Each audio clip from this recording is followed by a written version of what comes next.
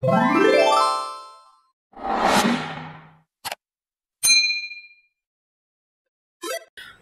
semuanya, kembali lagi di channel YouTube aku Idapat.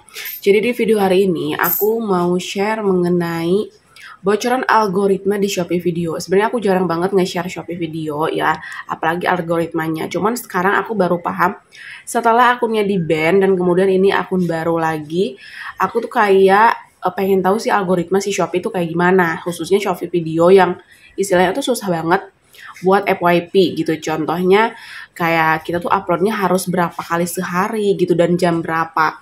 Nah, beda dengan TikTok. Kalau TikTok aku sering banget ya nge-share algoritmanya karena memang kayak udah tahu gitu loh algoritma-algoritma TikTok tuh misalnya uh, kebaca sama algoritma TikTok tuh di jam berapa yang rame atau misalkan video seperti apa. Nah, itu udah udah lumayan tahu lah ya dibanding dengan Shopee karena Shopee itu memang agak susah juga gitu buat kita tahu. Nah, aku mau share ke kalian semua. Jadi, yang pertama itu, kalau misalkan nih kita uh, pengen video kita tuh pengen diusahain FYP atau FYP gitu ya istilahnya. Kalian bisa menggunakan hashtag. Ternyata di video, di Shopee video gitu ya.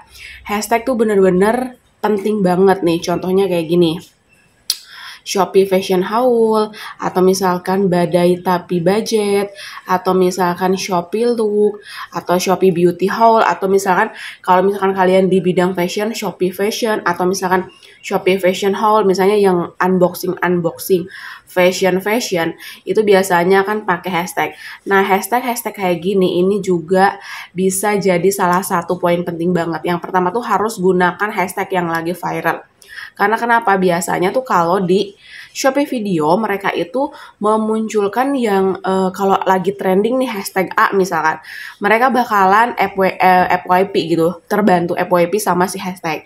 Nah itu hashtag penting juga. Kadang uh, ada juga kan misalnya racun Shopee dan lain-lain. Untuk hashtag, nah ini sebenarnya kalian bisa masukin sebanyak-banyaknya jadi ya udah kalian kalau misalkan nemu hashtag-hashtag yang viral atau misalkan nemu hashtag-hashtag di konten kreator yang memang dia udah berkembang banget itu bisa kalian uh, ambil gitu hashtagnya. Oh ini nih yang lagi viral nih si hashtag gitu. Nah itu yang pertama. Terus yang kedua yang kedua kalian bisa manfaatin fitur upload di jam rame di akun kalian. Karena itu tuh bisa dilihat juga. Nah, aku bakalan kasih tutornya. Karena kebetulan akun aku yang lama pun itu bisa dilihat, apalagi akun yang baru, baru banget gitu. Ini pun bisa juga dilihat caranya kayak gimana.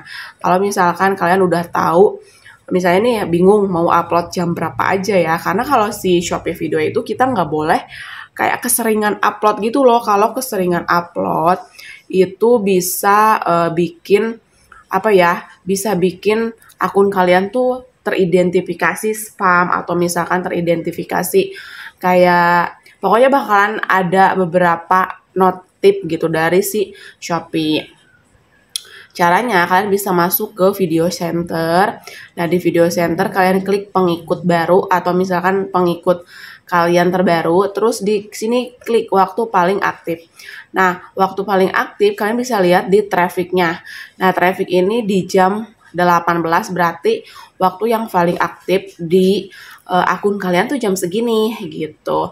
Dan ini tuh yang cuman uh, dikit-dikit nih traffic apa grafiknya berarti ini pengunjung atau penontonnya tuh nggak terlalu banyak apalagi jam 12 nih jam 3 di jam 9 malam juga nggak terlalu banyak ya prediksinya. Dan di sini biasanya yang rame tuh uh, grafiknya paling tinggi. Ya, itu yang kedua. Terus yang ketiga, gunakan hook yang menarik. Nah, hook sendiri itu sebenarnya udah lama banget ya. Hook itu bisa dipakai di Shopee, bisa dipakai di TikTok. Nah, hooknya itu kayak gimana? Biasanya hook itu adanya di uh, foto gini nih. Jadi misalnya video nih, hooknya bisa ditulis di sini nih di bagian editing sini atau misalnya di sini celana bumil murah bagus banget ini bisa kayak gitu dan kalian tuh sebenarnya bisa search copywriting atau kayak hook hook uh, kalimat-kalimat yang ngejual gitu loh. Misalnya nih uh, yang bikin penasaran orang gitu. Kalau pengen klik uh, apa namanya akun kalian atau pengen klik video yang kalian buat. Misalnya produk ini banting harga mulu nih. Itu contoh yang pertama ya hook yang pertama jadi orang kan ah produk apa nih yang banting harga gitu. Terus yang kedua misalnya stop jangan beli ini kalau gak mau misalkan e, digosipin tetangga dan lain-lain. Itu kan kayak kalimat-kalimat yang bikin orang penasaran. Siapa tahu mereka langsung cek e, keranjang kuningnya nih. Contoh ini gak nyesel beli. Nah, berarti kan ini produk apa sih gak nyesel beli gitu ya kan. Jadi kita bisa tahu oh produk ini biasanya itu hook yang bikin orang penasaran. Soalnya uh, sekarang itu kan kalau kalau nggak pakai kalimat sama sekali kan agak kurang bikin penasaran kali ya. Jadi kayak cuman kalau kalimat selewat-selewat tuh kayak ya udah sih ini apa gitu. Kalau misalkan pakai kalimat-kalimat jadi orang pertama bisa penasaran, bisa pengen lihat produk apa sih itu atau misalkan dari segi video penasaran video apa gitu kalau pakai hook-hook yang bikin orang tertarik gitu. Oke okay guys, jadi itu dia video dari aku untuk hari ini. Semoga video yang aku share bisa bermanfaat ya buat kalian semua. Dan buat yang akunnya ke band di Shopee video itu hati-hati di Shopee maksudnya ya.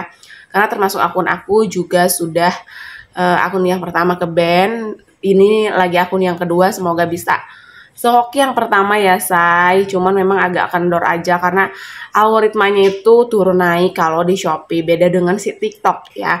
Tapi nggak masalah, uh, rezeki orang kan beda-beda, ada yang dari Shopee, ada yang dari TikTok. Yang penting tetap konsisten upload dan kita uh, lihat juga gitu tips-tips yang lain. Semoga berkembang ya akun-akun kalian. Jangan lupa like, comment, subscribe di video channel YouTube aku dan see you on my next video.